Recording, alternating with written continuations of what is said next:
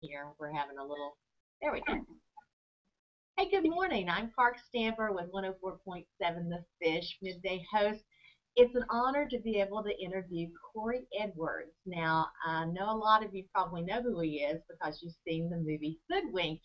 Hey, Corey, uh, thanks for being on with us today. Thanks for having me. This is really cool.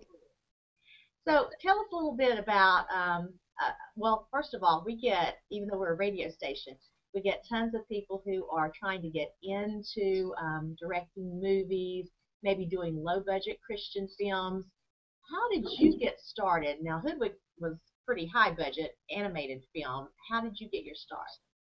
Um, it was really easy. You just uh, you just send your name in to Hollywood and you check a box and you direct a movie. Uh, no, I'm probably uh, about 20 years in the business now, and um, um, I started out in that area of the business where you are in a production company, and we uh, worked on a lot of um, music videos and commercials and that kind of client-based stuff. And all that time, uh, my brother and I were writing scripts and trying to break in, and it's it's a very difficult business. You've got to really love it to break in. Um, and the interesting part of uh, Hoodwink's story is that it was not what I was setting out to make as my first film.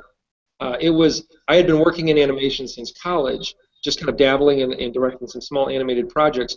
We got to know an investor through a, a our Sundance film. I'm going back a little bit, mm-hmm. but uh, my brother took a film to Sundance that I produced, and that allowed us to meet a lot of investors. One of those investors was interested in another film, and we laid out maybe five scripts that were all live action, um, independent films. And then he saw something that was animated that I had done and said, "Oh, i w- I've always wanted to fund an animated film." So we naively said, "Well, of course we can do that." And that, uh, having no idea what we were getting into.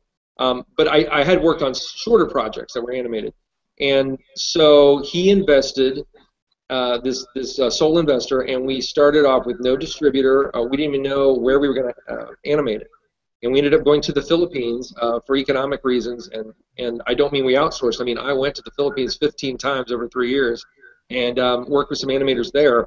And the budget ended up being around um, eight million dollars, which does sound like a lot of money, but in context, uh, the average animated computer animated movie might cost 150 to 200 million dollars. Wow. So it's way under a tenth of the cost. Um, you know, and, and it, it doesn't look like a Pixar film, but we were very proud of what we were able to make with that money. And the happy ending to that story is that in the 11th hour, the Weinstein Company was just beginning. Uh, Harvey Weinstein had sold Miramax and was beginning a new company, and he was looking for new films to put out right away. And we were one of his first films. So all the marketing that was poured into that was from the Weinstein Company. We were very fortunate to go out on 3,000 screens and we're uh, number two movie of that weekend. We were almost number one, and stayed stayed in the top five all month. So it, it's a it's a great success story for an independent film, and we were one of the very first animated films to be made outside of a major studio. So, so what after after Hoodwink? So what have you been working on recently? Uh, well, right when Hoodwink came out, what was um, awesome was we, uh, uh, one of my co-writers, and a buddy of mine, Tony, uh, he had an idea for a movie. So we pitched a movie the week that Hoodwink was in theaters. We were right back out pitching another movie. We uh, managed to sell that. It was called Escape from Planet Earth, and that came out last February. And then since then, I've been doing uh, rewriting on a lot of uh, other films. Uh, there's a, a, lot of business to be made in rewriting uh, scripts. And I've, I like to say I've almost made four films since Hoodwink. That the way the movie business works is things come together and they fall apart. Um, I worked with the Jim Henson Company, and we got very close to making a Fraggle Rock movie for fans of Fraggle Rock. I remember eight- Fraggle Rock, absolutely. Dance your cares away.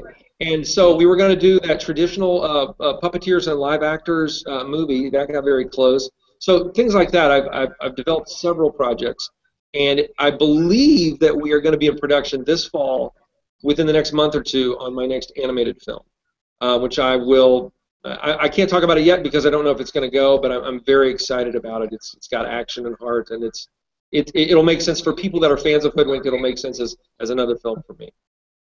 So you're uh, with the Big Picture Conference. Tell us a little bit about that for people who are struggling to get into the business, maybe want to to do what you're doing.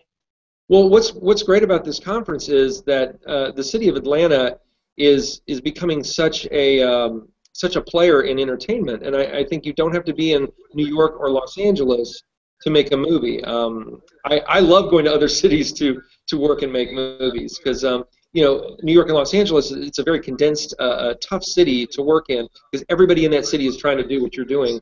Um, and, and, and they and honestly they do things differently than the rest of the world from parking to uh, just communicating with other people. LA is different, uh, so it's very refreshing to come out here to Atlanta and see all the film production that's going on, and it seems to be exponentially growing.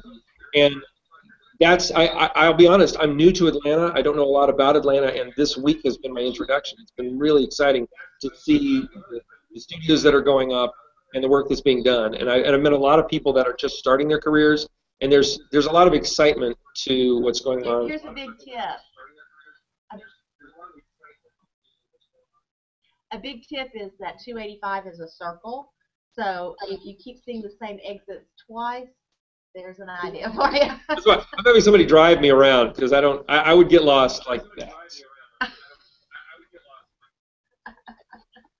That's awesome. Well, we're so excited to have you on here, and um, the uh, sales agent who's over this is going to kill me for asking this, but I'm going to go ahead and ask. Um, I have been a budding thespian for many years, and my goal is to play a dead body on a television show or a movie. So, got anything for me coming up?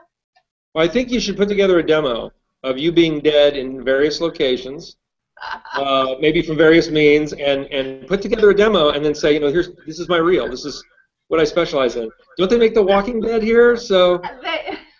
They, do. They, they have to walk around. There's a little more I to that. Just do straight dead, no walking involved. Yeah, I, you know, my, my, my wife is a, an actor, and that's one of the first things she did was she had to lay in a coffin on stage for 20 minutes before she came out of it for some reason.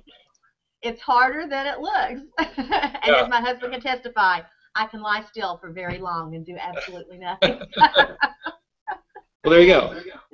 so what That's the number one thing about playing dead is to not move. So you got that. That's it. I'm good at that. So, uh, what other advice do you have, especially as a Christian in the business? I mean, you know, we hear it's kind of tough uh, being a Christian.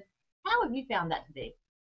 Um, you know, I think if you make quality work, and this will sound cynical, but you're dealing with Hollywood, it's kind of cynical. If if you put uh, people in in seats, if you sell tickets, uh, they don't care if you worship trees. I mean, they don't. Uh, you know, it's it's it's Hollywood. Um, so if you have a belief system, a deep core belief system, that means you have scruples, you have taste. You will say no to some things, and that becomes very valuable in Hollywood. I have I've turned down some very lucrative things, uh, movies or jobs, um, because it was something I didn't want to put out into the world. And you will blow people's minds when you turn things down in Hollywood. Um, when you say that's not for me. Um, I found I was very nervous to do that because I need work like everybody else, but but it turns out that that makes you more valuable when you uh, stand on what you believe in. And and I think that if you have a faith-based system, you know, if you have a belief system where you want to put certain things out into the world, there's a little more responsibility you carry with you than just entertaining people. Um, but I think those are the better movies, the better television, when you speak to people's uh, core values, and, and I believe those are universal truths, the, the, the Christian values that a lot of people have in this country and all over the world. Uh, they- They're just basic universal truths that really speak to human beings. And if you put those in movies, people respond. You look at the top 10 movies of all time, and those speak to a lot of those universal themes and universal values that people have. So, so it's not that weird. I think that the, the biggest responsibility is to make high quality stuff with what you're saying. I think that a lot of Christians get very excited about the message they have, and then they're so excited about that that they don't, you know, make sure that they have quality sound or lighting, Right. uh, that they get the best actors they can get, or that the script is right before they start. Um, you know, it's, it's bad when you, you see something that's been uh, done by a Christian filmmaker and you can just tell by the lighting or the quality of it that oh, I guess this is this is one of those Christian films, and and that's not what we want. We want our best out there in the world. So I mean, that's that's what I always try to, to tell people is make sure you are the best artist you can be. Well, thanks so much. As we wrap up here, um, what are some tips that you would give to uh, would-be directors uh, as you know, if they're going to be coming to the Big Picture Conference, or maybe they can't attend? Um, one of the things that uh, it's so hard to answer individual questions about um, someone's career, like whether they should do this or that, because my career is going to be very different than their career. Everybody's path is different, but, but I found the one thing that always seems to work is uh, two things. Uh, This is like a comedy routine now. Five things. Uh, no, but, but but one core thing is to know yourself as an artist, to know what you're good at, what you're bad at, what you need to work on, um, what you want to say to the world. Once you know yourself through and through, you're going to be a more confident artist. You're going to respond to your instincts. Um, but the other thing that I just thought of was just making stuff. Uh, I'm saying that a lot now at, at speaking engagements. Make stuff. Um, the more you make, the more uh, scripts you write, the more short films you shoot, um, the more you're on a set, the more you are improving yourself as an artist, the more you are meeting people on set, the more likely you are to get an agent, the more you, uh, the, the higher likelihood that you're going to get ahead in this business than just taking meetings or talking about what you want to do. Um, finish things, complete things, get out there with the camera, or sit down at that laptop every day and write that script. And the more that you are self-generating your own material, the more the world is going to come to you. I, I think that a lot of times people wait for years that big break. You may, don't don't consider anything a big break. Consider it a one long series of tiny breaks, and just keep doing your thing and doing it as as well as you can, and um, that's going to yield something.